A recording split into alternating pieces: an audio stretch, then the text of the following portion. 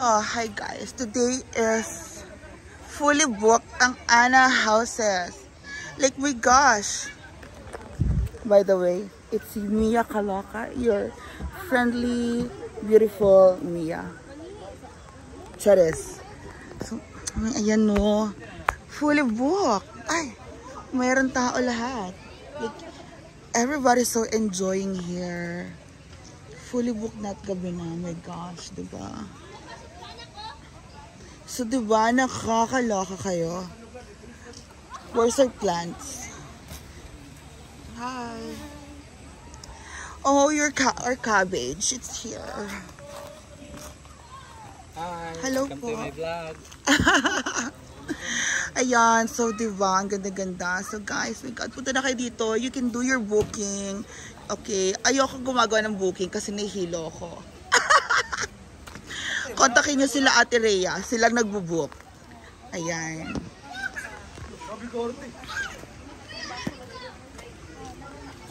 O, oh, diba? Buwangga. Kuha tayo dito later ng pwesto. Tapos, lalarga tayo.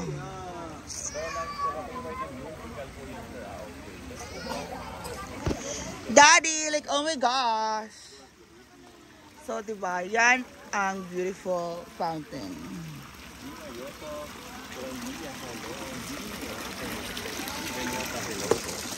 Inom ba tayo? I want to drink now. Oo. There you go, the grotto. So, fully book ang Ana houses today. Look at them, lahat po may ilaw. Lahat ng Ana houses may ilaw. So, Ana, Ana to the max. Enjoy everyone. Ana, Ana, okay? So, yun lang. Doon na tayo sa canteen. Doon na tayo kakain. Chuchurva sa canteen, okay?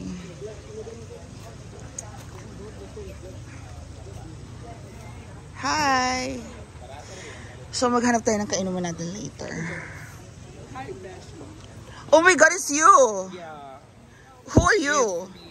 Like, ew! The beautiful woman. Okay, come here. So, I'm reporting. Ah! Ah! Oh my God, the dogs! Ew! Kadiri! Oh nakakadiri mga pok-pok. Oh, sila talaga yung mga pokpok. Oh, bakit may mga pok-pok dito? nyo ngayon mga pok? Oh my gosh! Hindi siya si Utlong. Ah, si Otlong, okay. So may peso ng peso tayo doon. Iinom tayo later, okay? Tara na, nasa yung alak natin. Pero alak? tayo alak. Mag-pray ka rin. Daddy, wag kang KJ dyan. Vlog ka ng vlog. Uminom tayo. Dali. Hindi si Daddy, inom talaga yan si Daddy kasi alam niya. Oo, na- na, stress si Daddy. Stress si Daddy today. Why? Hindi ako stress. Oh, hindi siya stress. Pero, pero siya stress sa mukha. Back to you. Bakit niya? Ako hindi. I'm so pretty and beautiful. okay, so enjoy lang everybody. Bye-bye. Ganyan. Ba't nandito pa, ba't nandito pa rin kayo? Ay, kabababa lang nila sa barko. Bakit ba kayo, ah, mga, mga mamarko po sila, mamarko. Maganda yung isang ano, isang babae sa inyo. Ah! Mamarko. Hindi siya mahalin sa barko. Ah, ano pala? Kasi parang siyang Pero ampa ng barko. parang nabugbog sa barko. Parang siyang ampa ng barko. Pero ito, parang nabugbog sa barko siya. Nab nabugbog sila sa barko. Na- walang ipin niya. walang ipin niya kasi nabugbog sa barko. Oh, so, sige na nga mamaya na. So, I'm your very boob, okay? Bye.